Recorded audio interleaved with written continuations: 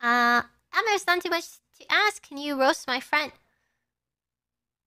We're all thick-skinned retail workers and you literally asked for it. Roast? I don't know anything about your friend. What am I supposed to say? I can roast you. I don't know, what do I say?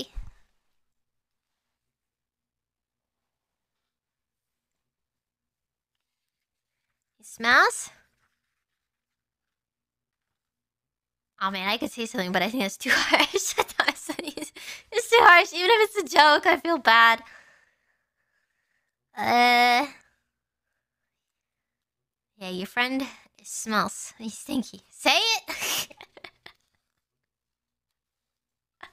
okay, I'll say it. I'll say it. Your friend, he works in retail. That means he already wastes a lot of time of his life, and he also wasted watching VTubers? what a loser. I'm kidding! I don't mean that. I'm so sorry. I don't mean that.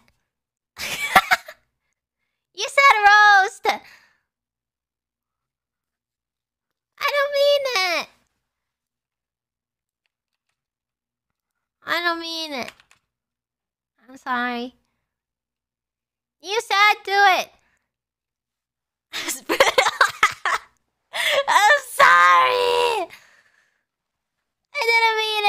I didn't mean it. I'm sorry.